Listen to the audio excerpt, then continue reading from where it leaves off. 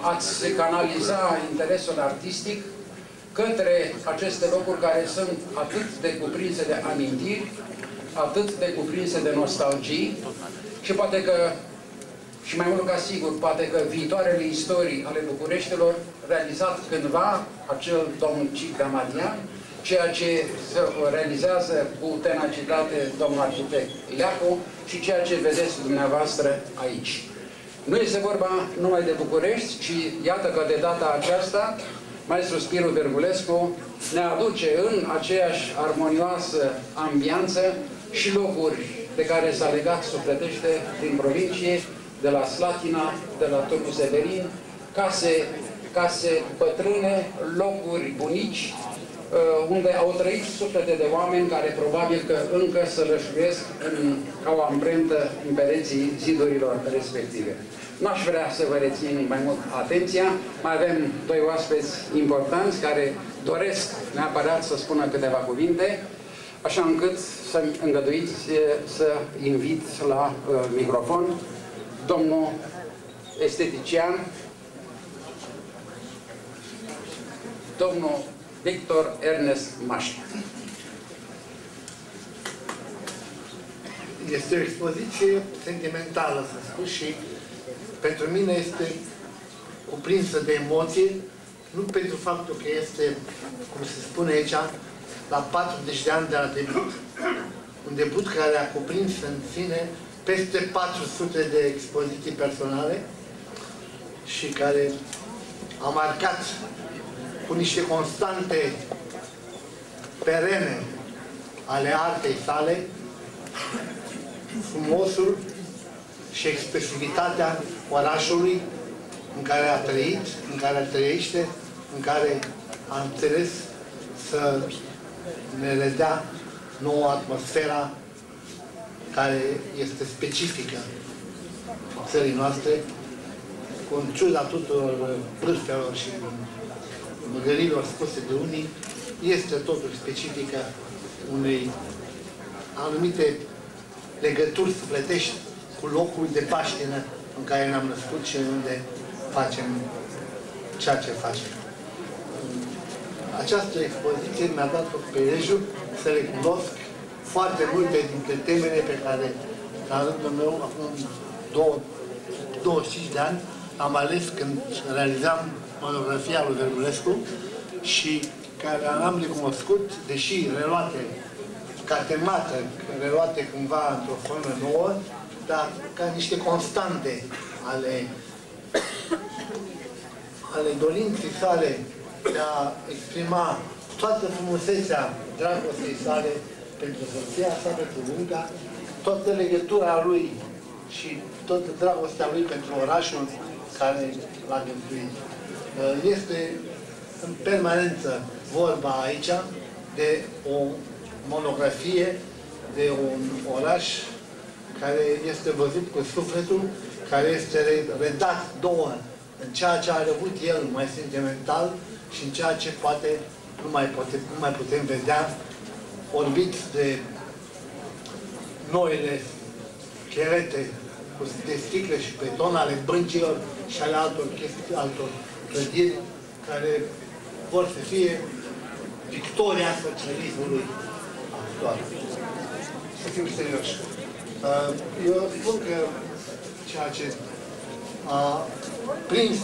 Pergulescu atâția ani de zile în dânsul și ceea ce a analizat și reușește să ne dea nouă în tablourile sale,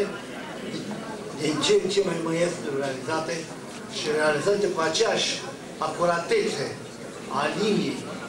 cu același simț al culorii, care șoptește parcă, ca să ne lase să auzim tumultul orașului, aceste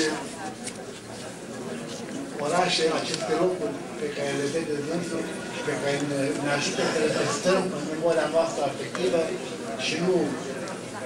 să știm că Bucureștiul sau Slatina sau Constanța are constantele sale sentimentale și are și constantele care au permis să ne legăm de aceste locuri și de acești oameni care, iarăși, dacă nu se văd în tablourile sale sunt cei care au privit odată cu el orașul respectiv, cei care ne privesc de pe geamuri, de undeva. Nu este un oraș cum ar părea, rotit și filtrat. Este un oraș oprit, este un oraș băntuit de sufletele și de emotivitate locuitorilor tăi, care în permanență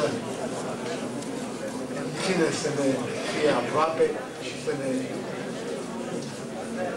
să ne evite să îl riscăm. Eu doresc, domnul Gădurescu, să facă și mai departe asemenea constante ale privirii sale năucitoare pentru mine, de foarte multe ori, pentru noi toți, care știe să vadă dincolo de viduri și de umbrele unor schelete, să vadă viața care s-a păstrat în ele, să vadă sufletul oamenilor și a locurilor acelea care ține să ne se, să ne, să ne dovedească că ea a rămas aceeași, că centrul vital al artei sale este interesul uman și că din cauza aceasta arta sa va dura și durează, cum se vede și acum, în expoziția aceasta. Îi doresc succes și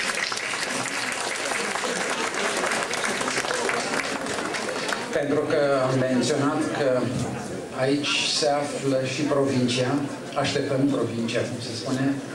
un mesaj din partea colegilor de la Drobeta Turnu Severin, doamna Maria Bălăceanu de la Muzeul Porților de Fier de la Drobeta Turnu Severin, dorește să transmită un mesaj de prietenie și probabil, sigur, de bucurie uh, domnului uh, Spiru Vergulescu. Doamna Bălăce. Fiecare loc are o istorie a sa, dar fiecare comunitate umană scrie o istorie. De milenii, această scris, istorie este scrisă mai cu seamă de către artiști și printre aceștia un loc aparte îl au artiștii plastici. Cei care scriu istoria acum sunt uh, cei care ne înconjoară în seara aceasta și printre ei, unul dintre cei mai aleși, Spiru Vergulescu. Dacă alături de dumneavoastră în seara aceasta este și provincia, cum s-a rostit, este pentru că pictorul Spiru Vergulescu, pentru a scrie istoria în felul său, străbate țara și ajunge și în provincie. Acolo unde poate, mai mult decât în București, atmosfera cuprinsă în imagini este mai bine păstrată. Acea atmosferă patriarhală în care pereții vorbesc, în care terestrele zâmbesc, în care acoperișurile spun foarte multe pentru că știu istoria scrisă de oamenii care se află nu numai dincolo de ferestre, în interior și creează fizionomia caselor, dar uh, știu și istoria scrisă cu ani în și decenii în urmă. Prezența mea aici se datorează relației deosebite pe care o am personal cu familia Vergulescu, dar și profesional. Pentru că